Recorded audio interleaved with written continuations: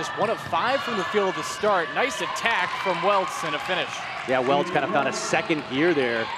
One of two players that UNH was able to add, and Tim, you mentioned at the open, just six players in their last game as Welts is able to finish for two.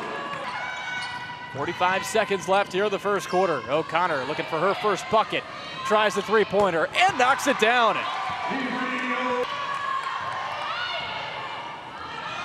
Kane with a three-pointer. That's good.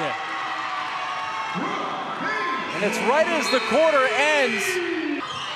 Bowman jumps up high to get that. Feeds down low and Fourier lanes it in.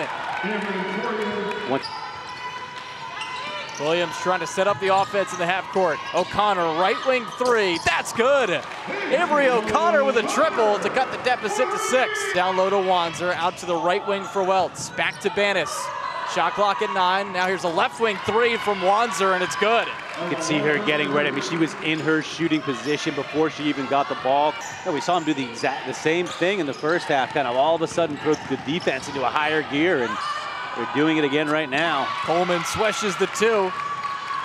See the Wildcats run a little bit off these misses, but Joe, I don't know if you're seeing it, but Wildcats do look a little fatigued. Cody with a nice move as she lays it in. Nothing fatigued about that right there. The up and under from Paige Cody.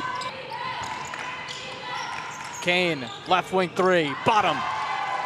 Nice looking stroke from Brooke Kane there. No hesitation. Knows her team needs points. Well, they have a star in Danae Bowman. That helps. They've got great depth. They've got outside shooting. And there's the first from Breezy Williams. He will not go scoreless. Welts has it left wing. Bearcats milking the clock right now.